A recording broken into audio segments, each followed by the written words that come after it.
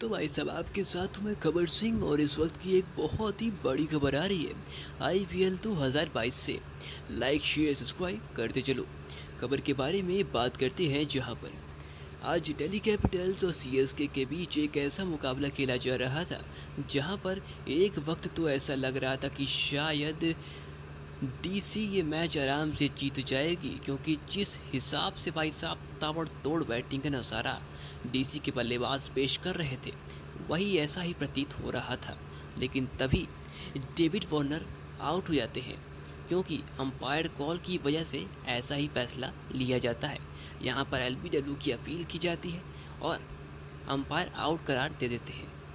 लेकिन जब umpire out करार दे देते हैं तो काफ़ी दुखी हो जाते हैं, कोई और नहीं बल्कि डेविड वार्नर। और उनका पारा चढ़ जाता है, काफ़ी गुस्सा जाते हैं। और तभी वो अंपायर के ऊपर ही गुस्सा जाते हैं एंग्री हो जाते हैं। और साथ ही साथ, अंपायर से तगड़ी फाइट हो जाती है डेविड वार्नर की सी के खिलाफ आई पी एल दो हज़ार